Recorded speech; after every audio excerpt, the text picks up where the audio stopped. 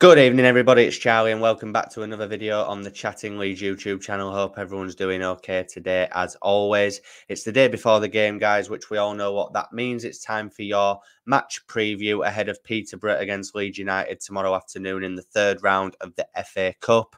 Just before we get into it in more detail, guys, make sure you're smashing that like button. It really does help get the video out there to more people. Please subscribe if you are brand new hit the notification bell so that you're always aware of when I'm uploading and going live. And of course, get all of your thoughts and opinions in the comment section down below. So, yeah, third round of the FA Cup. Of course, the game is away. It's always away in the Cup with Leeds. 13 consecutive away ties for Leeds United in the FA Cup, which is a record.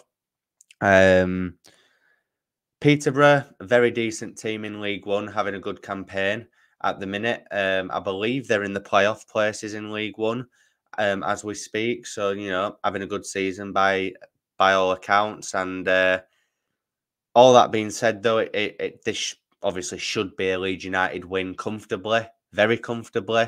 Um, however, something tells me that with Leeds United, whatever the outcome of this game is tomorrow, that it will not be comfortable. Um, I don't want a replay. I really cannot be bothered with a replay. Obviously, if a replay happens, I'll probably end up going to it. But in terms of you know the amount of games that are coming quick and fast and and everything like that, do Leeds United really need a replay at this moment in time? Probably not. So it sounds daft, but even if we lose the game tomorrow, at least we can just focus on the league then and we don't need to worry about a replay or, or anything like that. Would I like a cup run? Mm, again, I'm I'm not too fussed. Obviously, I like Leeds United to win games, and you know, a win tomorrow could maybe help with a bit of momentum in the league after we beat Birmingham 3 0. It would be a nice result to take us into Cardiff away next week in the league. Um, but if we lose, yeah, it's a bit crap at first, and you're a bit embarrassed because it's a team in League One. But then when you sit back and put it into perspective, it's probably more important that we focus on the league anyway and trying to bridge that gap between us and the top two. Um, but yeah, look in in in terms of Peterborough, I'm not going to sit here and say that I know who their main threats are, anything about the style of play because I don't. I don't watch League One, obviously. Um, but like I said, they're in the playoff places, so they're obviously having a good season. Um, but it's up to Leeds United to go there and really, you know, stamp some authority and show them who's boss. Um, you know, even with a weakened team, Leeds should be going there and easily beating Peterborough at ease, really. Um, I do think Farke will make a few changes, but don't be surprised if there is still quite a few first teamers in this starting 11 because I think Farke likes the cup. Um, you know, I think he took Norwich to the quarter final one year. So, you know, he may want a cup run himself, but us fans are probably more focused on trying to get promoted again. Um, but like I say, I think there'll be a few changes. I think a few players could come in. Um, I think he'll probably start Mateo Joseph. Um, could start Joe Gelhardt as well. Oh no, wait, he's injured, isn't he? Um, so Mateo Joseph Poveda could come in. Um, apparently Cooper's a doubt, and obviously Struijk's not going to be risked. So does that mean Ampadu's going to slot back to centre half um, alongside Charlie Cresswell or, or, or someone like that? And are, are we going to see Archie Gray and Gruev maybe in midfield with Anthony Gnonto on the wings? Give James and Summerville a rest maybe Pat Bamford could retain his place as well.